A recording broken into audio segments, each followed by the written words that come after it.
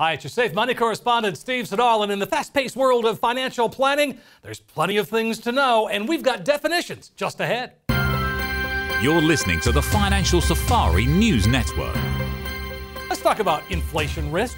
That describes the uncertainty future real value of an investment after accounting for inflation.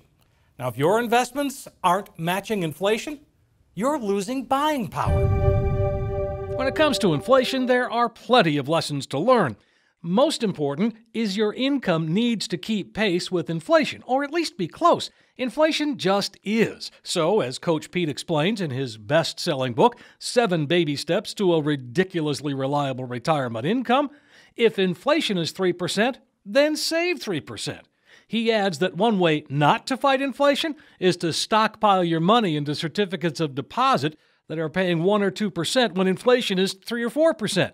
That's what he calls losing money safely.